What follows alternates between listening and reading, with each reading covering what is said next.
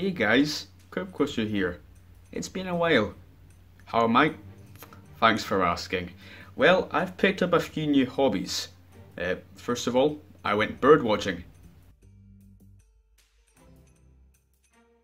That is not bird. And I went backpacking the other day.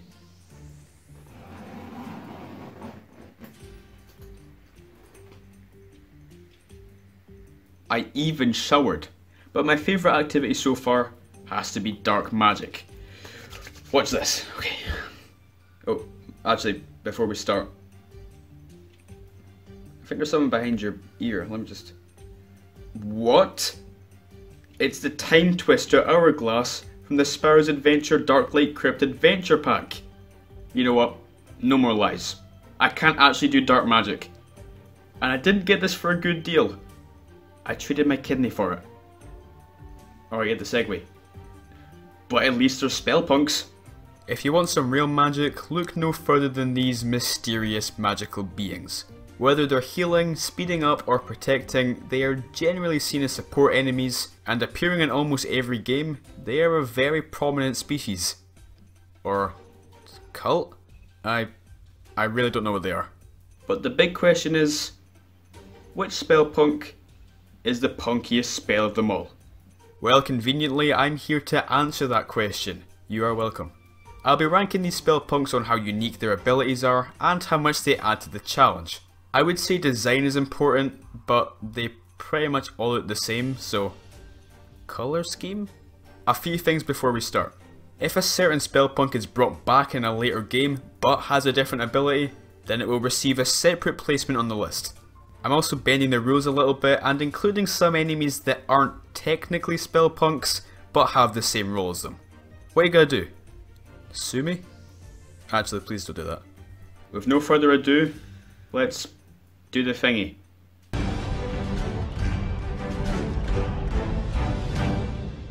Before we begin, a very honourable mention goes to the Crystal Masters. These Greebles go around evilizing creatures with their staffs. To my knowledge, you only see these guys in cutscenes and you can't actually fight them.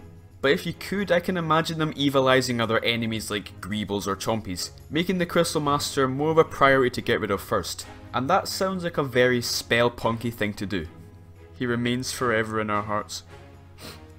At number 28, my least favourite spellpunk, Broccoli Guy. This has to be the most pathetic imitation of a spellpunk I have ever seen.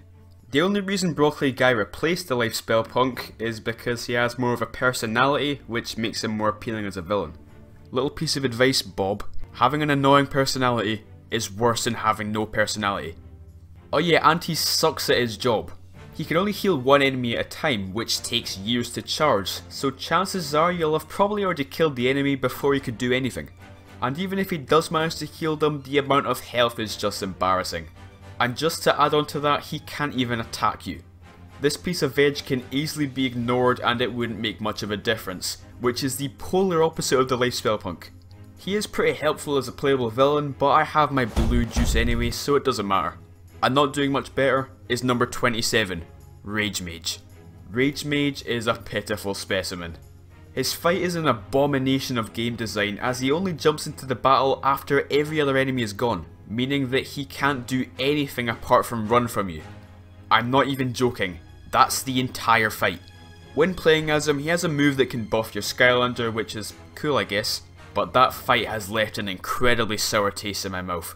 At least he couldn't ruin any existing spell punks, cause he isn't based on any of them. That's his only saving grace. At number 26 is the Tech Spellpunk. I don't have any massive problems with this guy, he just feels pretty lazy. It feels like they didn't have any interesting ideas, but they had to have one of every element, so they made it anyway. At least its colours are pretty cool. Next up is the Fire Spellpunk from Spyro's Adventure. This is a very forgettable spellpunk. It's only in one level, and a bad one as well, and can create explosive barrels which it blows up. Only problem is you have to be right next to the barrel to even feel the warmth of the explosion. So you most likely haven't even been damaged by this guy, and you probably forgot it existed until now. The magic spell punk from Spyro's Adventure kinda sucks too. For an enemy introducing the same level as this schmuck, it doesn't do a whole lot. It summons a magical orb which blasts you with an impossible to see laser.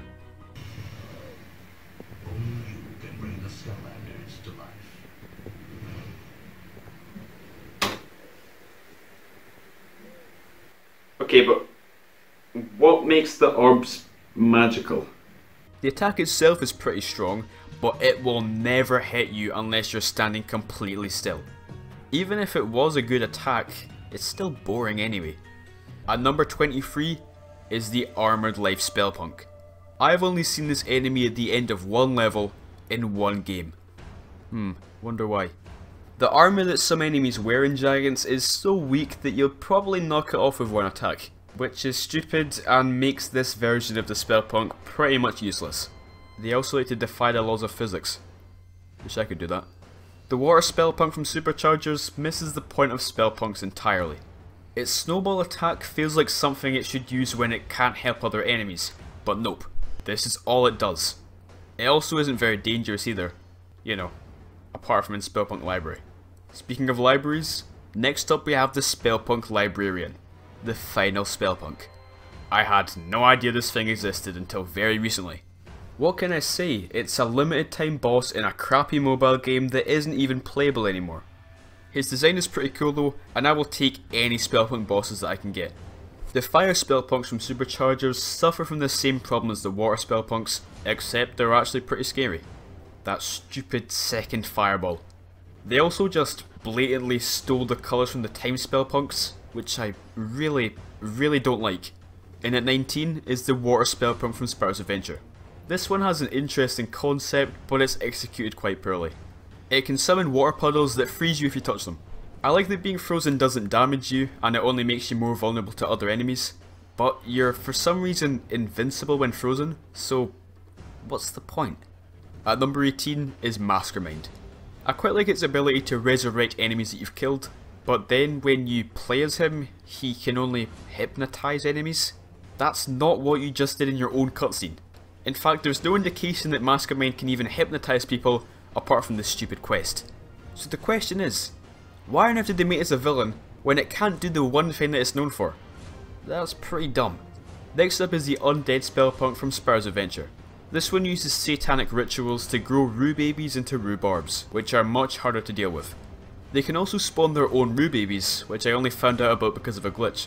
It's a pretty fine spellpunk, but I wish it had more versatility. It works on the Rhu Babies sure, but nothing else. And the Trogmander is practically identical to the Undead Spellpunk, I only like it a tiny bit more because look how goofy it is. Gotta love this guy. At number 15 is the Earth Spellpunk. Ugh, I have some weird, inexplicable love for it. Maybe it's the juicy colours, maybe it's because no one cares about it when it deserves love. Yeah, I think this may be a lost thing. It's funny that I love it so much, because it literally does nothing. It doesn't block melee attacks like I thought it did, it doesn't even increase enemy defense. Literally useless. Yeah, your eyes don't deceive you, it is giving these enemies like little rock barrier things, but believe me, it affects nothing. But hey, I still love it, and I will happily defend its existence until I die. Next up is the Air Spellpunk from Spyro's Adventure. This one sort of works like the Air Spellpunk, except this one actually does a thing. It casts a wind barrier upon any enemy nearby, which makes them invincible to projectiles, forcing you to attack close range. It's a pretty cool idea, and I'm sure the Drobot users are mad. At number 13 is the Raven Summoner, exclusive to Trap Team 3DS. This Spellpunk clone shoots orbs at you, and occasionally speeds up any enemies in its area, along with summoning Buzzerbeaks.